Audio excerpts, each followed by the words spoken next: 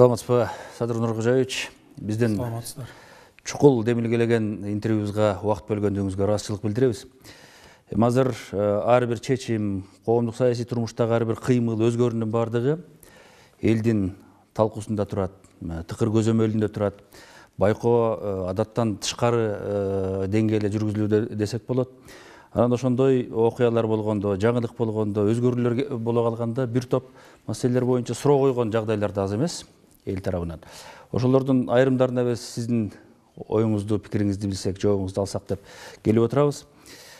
Баштаганда эле ушул кыргызстан мусулмандар диний башкармалыгынын кызматынан өз каалоосу менен чегинди деп арыз жазды деген максат ажы токтомушевдин кылмышка шектүү деп кармалышы дагы бул коомдун өзгөчө бир талкуусун жаратты ага убада эле буга чейин дин иштери боюнча мамлекеттик директору кызматынан кеткен акин токталиев мырзанын дагы ушул ажылык келатканда муфтийдин кызматы талашка түшөт жана бул маселенин артында президенттин жанында жүргөн адамдар турат деп билдиргенин окудук да бунун канчалык негиздүү экендигин билгибиз келет көз карашыңыз пикириңиз кандай бул маселе эми бул муфтий максат ажы токтомушевдун айланасында бул чоң ызы чуу жаралды. Бул өтө резонанстуу иш ошондуктан бул боюнча бул максатта эми мен майдалансам дагы башынан бери башынан баштап айтып берүүгө туура келет да. Бул иште мурдатан эле бир ушул диний тармагында жүргөн аалымдар диний тармагында жүргөн жарандарыбыз эки бөлүнүп алып чабышып келаткан. Ушундай жоруктар бар да.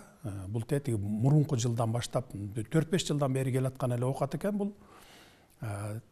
Мен баягы шайлоого жаңы аттанып аткан мезгилде ошондо баягы өзүмдүн милдеттеримди тапшырып анан шайлоого кеткен мезгил болчу. Азыр мен жаңылышпасам ушу декабрдын башы бекен ушундай убакта штабта отурганда максат ажы өзү келген маган анан келип арыз муңун айтты. Ушинтип аалымдар кеңеши мени ушу эрте мөөнөтү менен эртерээк азыр кызматыман алып анан башка шайлоо жаңыдан шайлоо өткөрөбүз деп атат. А биздин шайлоо болсо ушу апрель айында келип калмак. Ушуган бир үч төрт ай эле калды төрт ай эле ошо өз убагында өтсө жакшы болот эле деп маган штабка келген.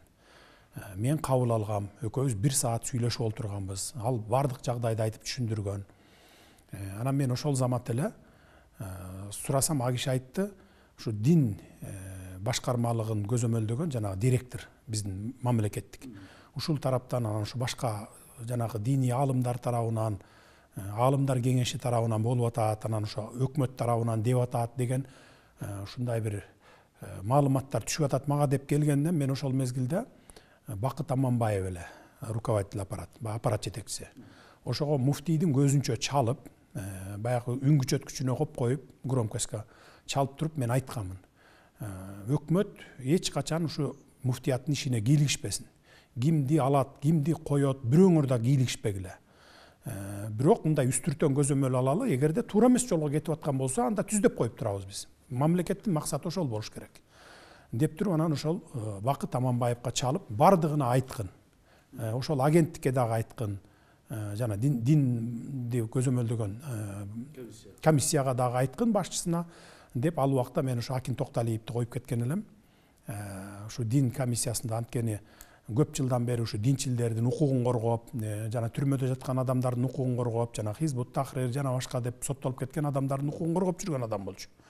Анан мен ушулардын укугун коргосун деген максатта ошол кишини коюп кеткем дагы бакыт аманбаевка руководитель аппаратка айтканмын ошого сиз айтыңыз баардыгына телефон чалыңыз үч ай төрт ай убакыт калыптыр. Анын эч айырмасы жок. Ошо апрелде эле ушу аалымдар кеңеши жанагындай курултайы дин тармагындагы курултай келип кимди шайлап алса аны шайлап алсын. Только ошол биздин салттуу динди кармаган динчилдердин баарын башын бириктирип турган ызы чуу болбогон адамды койсун деп ушинтип токтотуп койгонмун бул ошо декабрдын башы болчу. Андан кийин мына ушу жакында эле ушу менин инаугурациянын алдында дагы мага маалымат келди. Кайрадан эле баягы ызы чуу болуп атат. Ушу дин башкармалыгы эки бөлүнүп чабышып атат ичинен. Аалымдар кеңеши муну эртелеп бүгүн алып анан кийин кайра жаңыдан тез арада биз курултай уюштуруп шайлоо кылабыз деди деди себептерин сурасам эки себеби бар экен мунун. Анткени койгон баягы талаптары биринчиси акчаларды жеп койду деген анан экинчиси болсо ошол баягы чубак ажы сыяктуу бул максат ажы дагы жанагы ютубта жүрбөйбү сабак берет эмеспи. Суроо жоопторго берет дин тармагында. Ошол жерден бул эки жерден оозунан жаңылган экен. То есть баягы өзүнүн позициясынан жаңылган экен. Биздин салттуу диндеги динди айтпай тескери жака үндөдү деген талаптарды койгон экен. Анан ошол жерден мага маалымат жеткенден кийин мен эми баягы арзыбек бурханов деген менин жанымда жүрөт. Мурда депутат болгонбуз чогуу жакшы таанышпыз ал жардамчы катары эле мен аны баягы мен инаугурацияга даярданып атып колум бошобогондуктан эле аны сурандым. Сен барып максат ажыга жолугуп эле өзүнө жолугуп эгерде ушундай ызы чуу болуп аткан болсо баарынын башын бириктирип ынтымакта тынч эле баягы тарап кетишсин чепкен калпагын жаап эле анан эгерде шайлоосу болсо каалаган кишисин шайлап алсын. Биз мамлекет кимди шайла муну шайла тигини шайла деп киришпейбиз динине. Дин тармагындагы ошо динди түшүнгөн адамдар чөйрөсүндөгү адамдар кимди кааласа ошону коюп алсын деп эле айткам. Анан анын баягы кетирген катачылыгы ал түз баягы максат ажыга барып эле сүйлөшкөндүн ордуна баягы акин токталиевке барып баягы дин комиссиясынын төрагасы катары баягы директор катары барып ушундай ызы чуу болуп атыптыр. Сиз максат ажы менен барып ушуну баягы ызы чуу кылбай эки тарапты тең жараштырып басып коюңуз деп айткан экен. Анан ал барып анан туура эмес маалыматты айткан экен да ушундай кет деп атат дегендей. Анан эртеси күнү баягы ызы чуусу басылгандын ордуна кайра күчөй баштады. Анан эсимде жок ушу балким ушу бешинчи күн бекен ушундай болчу. Баягы инаугурацияга жакындап калган мезгил эле анан мен өзүм муфтийге чалдым. Телефон чалып айттым. Ушу жума намазга баратам азыр. Сиз ошо мечитте күтүп туруңуз нааразы болгон тарапты да топтоңуз өзүңүздөрдүн тараптарды да топтоңуз муфтиятты барып мен ушу эки тарапты тең угайынчы мен маалыматым терең маалыматым жок бул боюнча деп анан мен баягы жаңы салынган мечитке баратсам чалып калды биз жаңы салынган мечитте эмеспиз баягы эски эле жерибиздебиз деп анан бурулуп эски жерине кирдим жети сегиз аксакалдар топтолгон экен ушу дин чөйрөсүндөгү кийин аягында ушул абдышүкүр ажы дагы келди муфтий өзү болду анан ошол жанагы текшерүү комиссиясынын башчысы бакыт нурдинов деген болду анан аалымдардан дагы аксакалдар болду уламалар кеңешинин дагы баягы мүчөлөрү болду анан отуруп төрт беш саат ошол жерде сүйлөштүк. Мен эки тарабын тең уктум. Муфтий тарапты да уктум и жанагындай нааразычылык тарапты да уктум. Жана башында айтып кеткендей нааразычылык тараптын койгон талабы ошо муфтийге сен туура эмес башкарып атасың динди дешти. Биринчиси. Экинчиси сен акчанын көбүн жеп койдуң азыр баягы былтыркы жанагы ажылыкка барабыз деп чогулткан адамдардын акчалары чогулган да былтыр где то бир он алты миллион доллардын тегерегинде акча чогулган экен ошондон жетпейт деп калды сен жеп койдуң ошонун көбүн сен отчет бер десе бул отчет бербей аткан экен текшерели десе текшерүүгө киргизбей аткан экен анан ушул жерден төрт беш саат сүйлөшүп олтуруп муфтиятта мен айттым. Эми дедим шайлооңор апрелде келет экен дедим эки айдын арысы кайсы бериси кайсы дедим эки айдан кийин шайлооңор болот экен азыр мындай эртелеп эле ызы чуу болбой ошо апрелде эле шайлооңорду өткөрүп алгыла дедим ушуга макул болгула мен силерден суранам дедим азыр эки бөлүнүп чабышып өзүңөр ушу дин аалымдары болсоңор бүтүндөй кыргызстанга ушул маданияттуулукту ыймандуулукту үйрөтө турган аксакалдар болсоңор анан бири бириңер менен ушинтип чабышып отурганыңар бул жакшы эмес деп өзүлөрүнө беттерине айттым. Алар өзүлөрү деле макул болду макулсуңарбы десем макул болду дагы кетти эми бияка баягы каражат маселесинен коюп аткан претензияңар болсо жана жеп койду ичип койду деген претензияңар болсо мага ишенсеңер мен мындай бухгалтер жиберип кассасын текшертип анан сиздерге ушу нааразы болуп аткан тарапка мен отчетун берейин дедим. Ага бир он он беш күн убакыт керек маган убакыт берсеңер мен текшертип берейин дагы анан силерге киргизбей атса силерде мынакей бакыт нурдинов деген комиссиясынын төрагасы бар экен баягы текшерүү комиссиясынын. Ушулардын ичине кошуп баягы жиберип баягы бухгалтерди.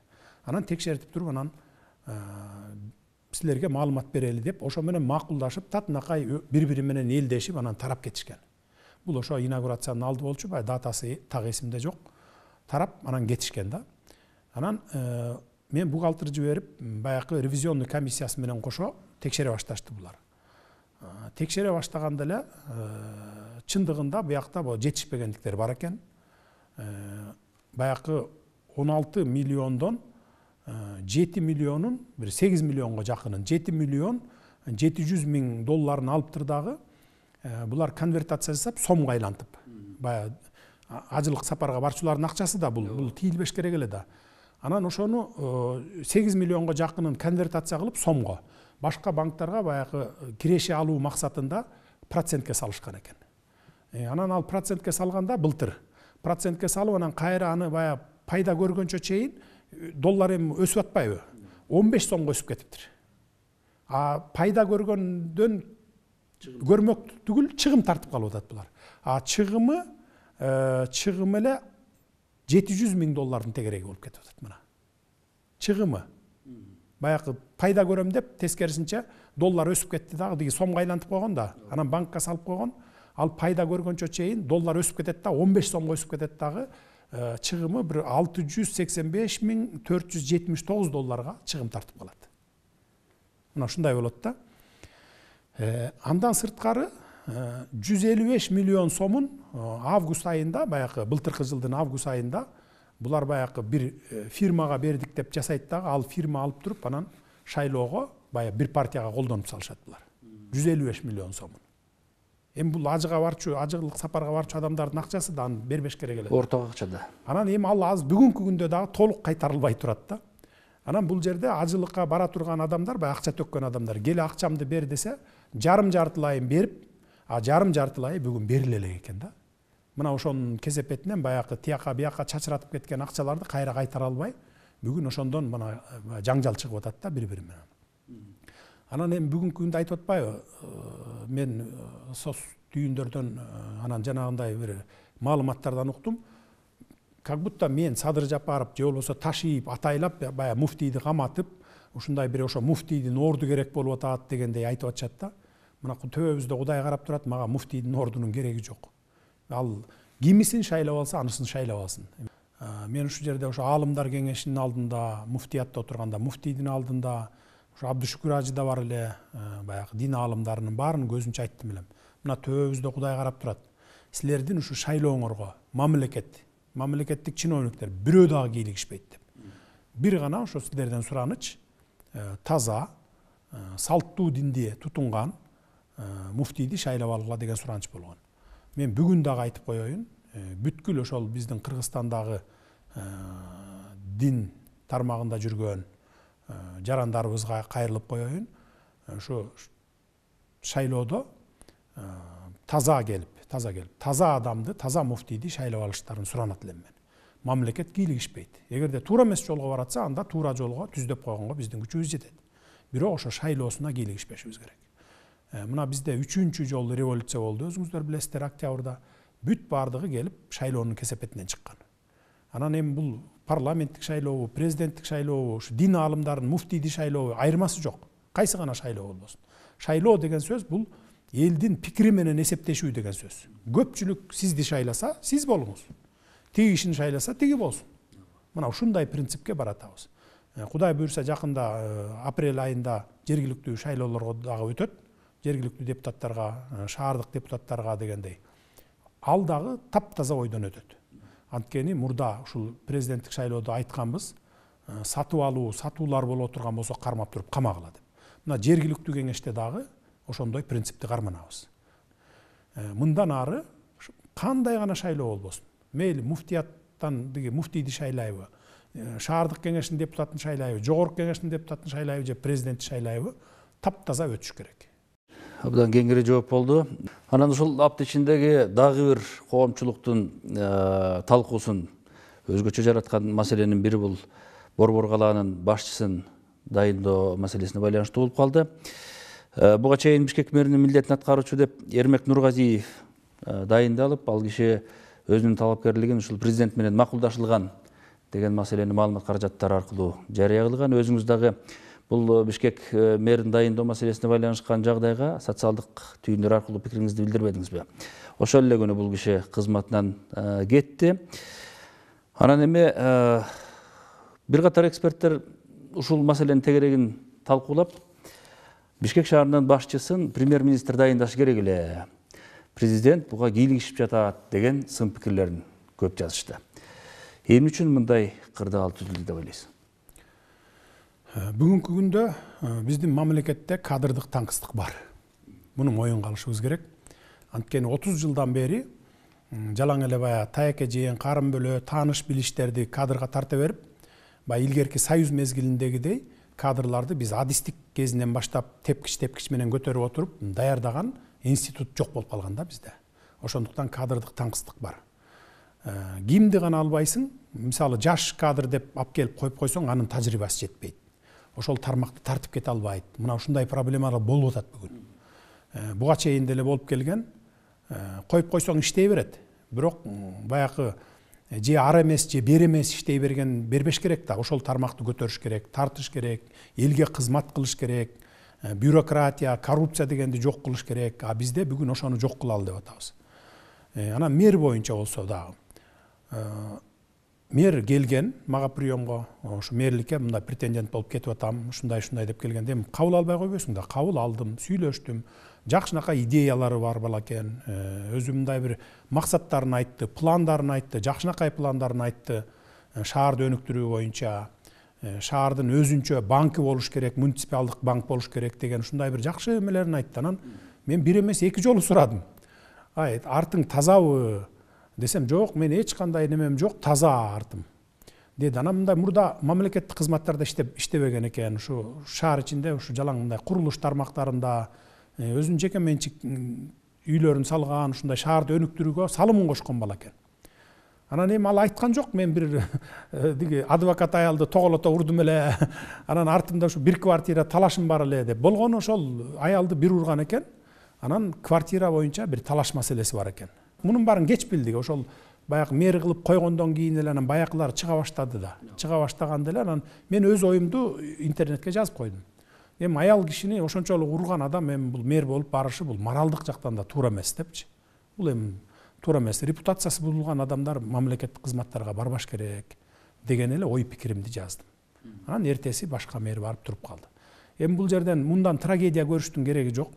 Анткени керек болсо кадрлар күн сайын эмес саат сайын алмашыш керек эгер туура эмес келсе мисалы грузия реформа жасаганда грузияда жума сайын кадрлар министрлер алмашылган керек болсо ошол саакашвилинин жакын достору чогуу ошол революция жасашып келип отуруп мына биз отурдук деген кадрлары камалып кеткен ондогон кадрларын камап түрмөгө отургузуп жума сайын алмаштырып министрлерди анан реформа жасаган эми мамлекетте эми реформа жасайм десең ошентип жасалыш керек да азыр биз эми кадрларды даярдап өстүрүп жаш кадрларды анан аларды министрлик должностко чейин баягы бийликке чейин тактыга чейин жеткириш үчүн беш жылдаган он жылдаган убакыттар керек болот биз ага чейин жөн эле карап алакан жайып отурбашыбыз керек да ошо бүгүнкү бар колубузда бар кадрларыбызды алып барып ошол кызматтарга коюп аларды иштетишибиз керек мен баардыгы менен айтып атам мага тиешелүү тармактарды азыр өзүмдүн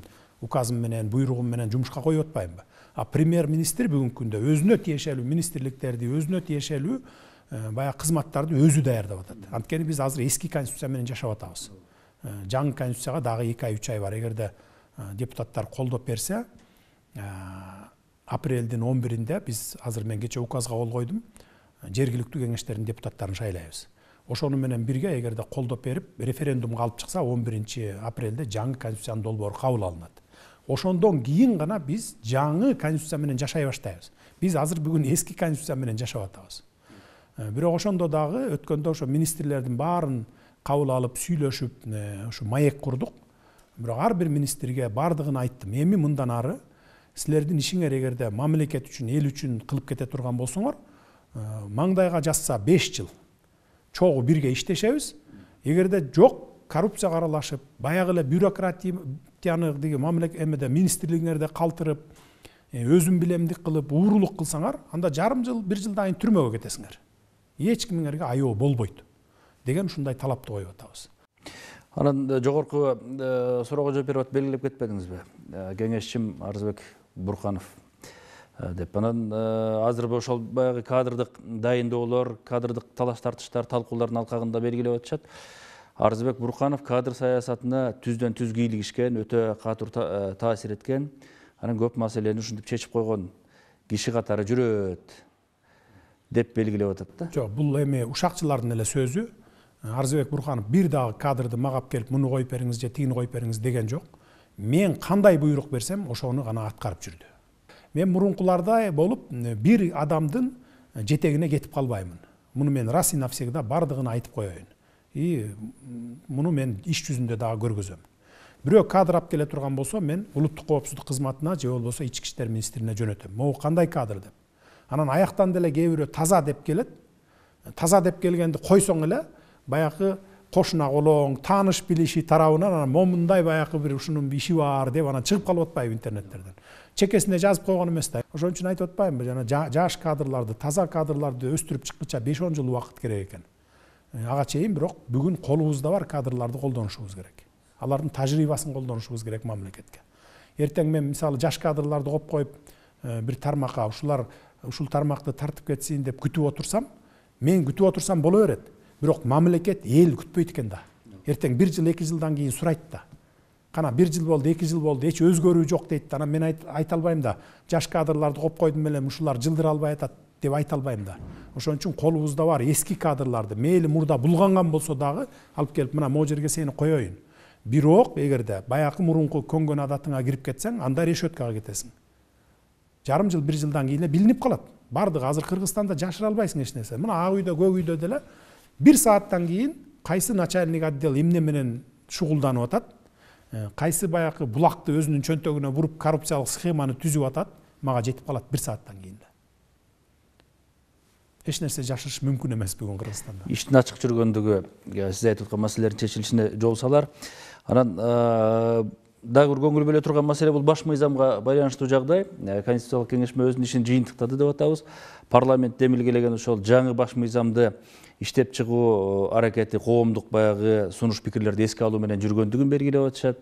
Жогорку кеңешке сунуш вариант катарында келип түштү жана коомдук талкуу башталды. Азыр мына биз байкап атабыз маалымат каражаттарында абдан мындай ачык анан активдүү жүрүп атат өңдөнөт көбүнчөсү ушул мамлекеттик башкарууга таяган маселелерге басым жасагандар бар анан өзгөчө ушул президенттин укугу өтө эле кеңейтилди деген жагдайга көңүл бөлүп атышат. Сын көз караш көбүрөөк десек да болот. Конституцияны эми конституциялык кеңешме иштеп чыгып парламентке тапшырды. Бүгүн мага жеткен маалымат боюнча парламент карап атат.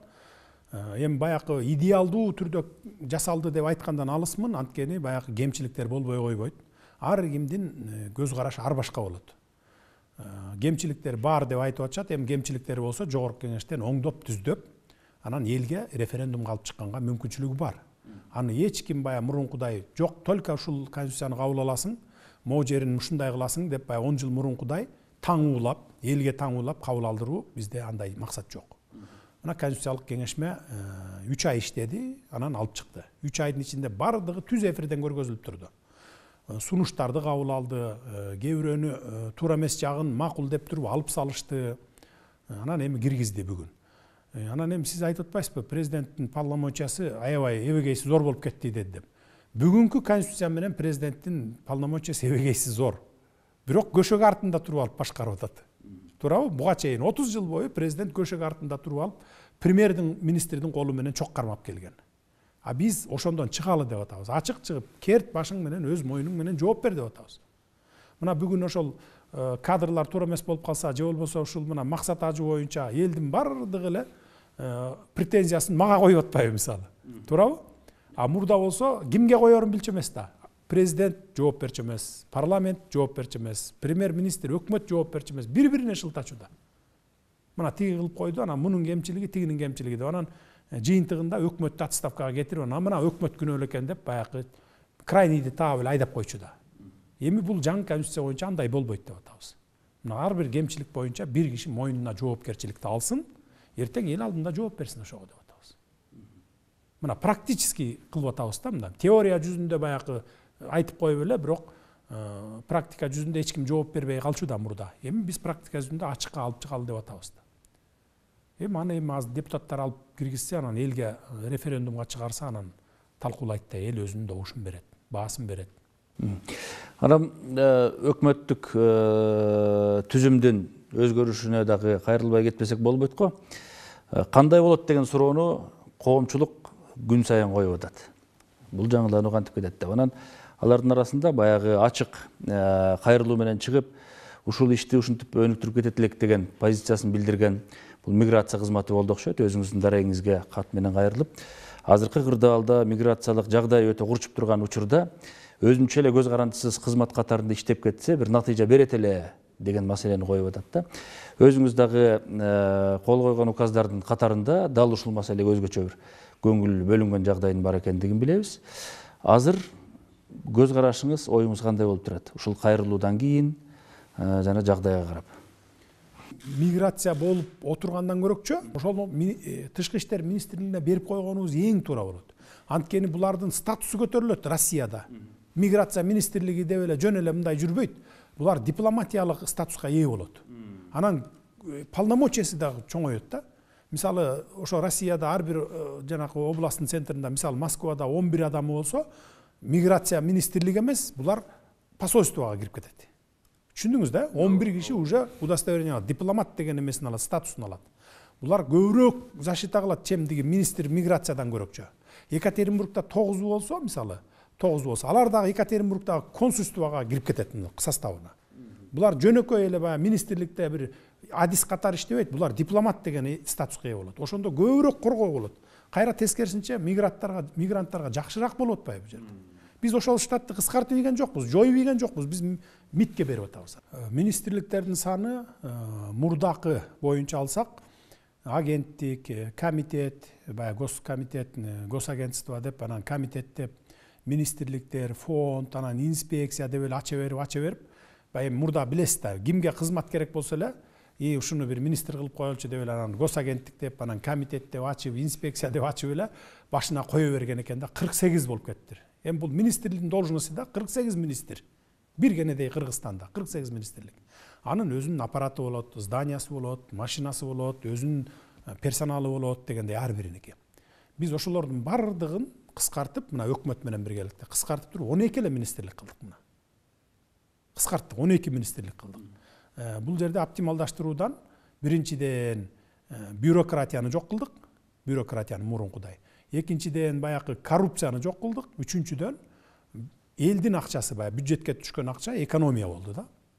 Баягы үнөмдөлдү бир эле мисалы энергетика министр энергетика тармагын алганда эки миллиард сомдон ашуун үнөм болот экен да үнөм болду аны биз ошол республикалык бюджетке алып албай баягы үнөмдөлгөн акчаларды деп ошол эле тармакка баягы өнүгүүсүнө баардыгын жаңылаган э айылга чейин айыл өкмөткө чейин район областтын центрине чейин баардык жабдыктарын жаңыртуу боюнча жана столбаларды жаңы столбаларды жаңы линияларды тартуу боюнча ошого жумшагыла дедик. Мына жаңырып баардыгын жаңыртыш керек болуп атпайбы тээ отуз жылдан бери мына жаңырттык деп коет бирок эчтеке жок. А энергетика тармагына мынакей гранттар келди кредиттер келди дейт көбүнчөсү кредиттерди алып алып бүгүнкү күнү энергетика тармагы мен өткөндө инаугурацияда да отуз жети миллиард сом карыз экен бир жарым миллиард доллар карызы бар экен мына төлөш керек болот экен мына ошонун баардыгын биз оптималдаштырып анан кийин ушундай жолдор менен кетпесек энергетика системабыз эгерде бүгүнкү эле күн менен улана берсек эчтеке кылбай эле эмдиги жылы уже биз токтогул кесин жоготуп алабыз. Катастрофалык деңгээлге барат уже биз сууну агыза албайбыз электр энергия чыгара албайбыз. Бул деген сөз бүтүндөй кыргызстанда электр энергиясы жок болот деген сөз эмдиги жылы. Ошондуктан биз азыр күнү түнү дебей иштеп кандай ушул ситуациядан кантип чыгып кетебиз деген пландарды иштеп чыктык.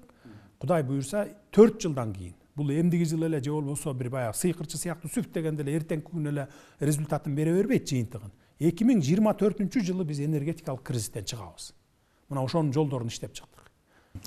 Анан сиз мамлекет башчылык кызматка киришкенден бери ушул бир катар жарандар. Бир кезде жанында жүрдүк эле колдоп жүрдүк эле. Анан бүгүн садыр нуркожоевич бизди унутуп калды.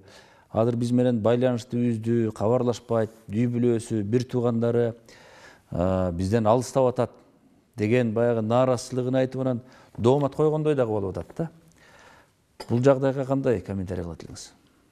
Эми эми таарынгандар таарынып турсун эгерде жок мурунку бийликтегилердин бир туугандары окшоп балдары үй бүлөсү окшоп коррупцияга малынып